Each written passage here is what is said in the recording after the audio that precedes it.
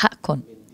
لا بس من يوم ورايح ما راح يكون في عتاب لأنه حتسمعوا كتير مصري. أنا ما كنتش غايبة على فكرة. يعني أنا من سنة ونص آه، نزلت أغنية جماله مع الملحن مديان. بس يمكن ما أخذت حقها كتير وبتصير يعني إنه آه، ما كان في كتير تركيز على اللهجة المصرية بالفترة الأخيرة. خليني أخبرك شغلة نكون شوي واقعيين.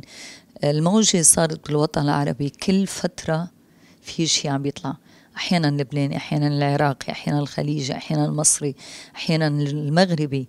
فكل فترة عم بيكون في ألوان غنائية مختلفة. بس وعد وبتستاهلوا عيوننا أكيد الشعب المصري وأهلنا بمصر الحبيبة إنه إن شاء الله حتسمعوا أغاني من الآخر قريبا جدا جدا إن شاء الله.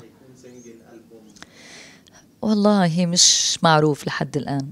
يعني احتمال يكون مني ألبوم واحتمال تكون أغاني منفصلة سناجل يعني. بس يعتمد لأنه عندي مجموعة كبيرة من الأغاني المصرية آه، أغاني باللهجة اللبنانية العراقي أيضا آه، في خليجي سعودي يعني في كولكشن كبير. آه، هيدي مش أول مرة. أنا دائما بغني ال يعني اللهجات الخليجية خلينا نقول.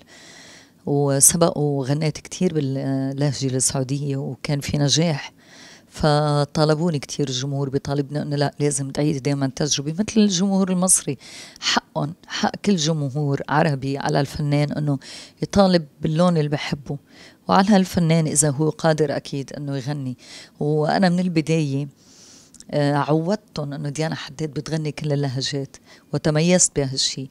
ف آه، هيدا الشيء اللي شجعني إنه أرجع قدم الأغنية السعودية بإطار جديد بفكرة جديدة. الكليب كان مع مجموعة من الصديقات الممثلات وال bloggers والحمد لله بخلال ساعات قليلة يعني حقق ترند بالخليج بالعراق باليمن بالأردن بالجزائر بلبنان.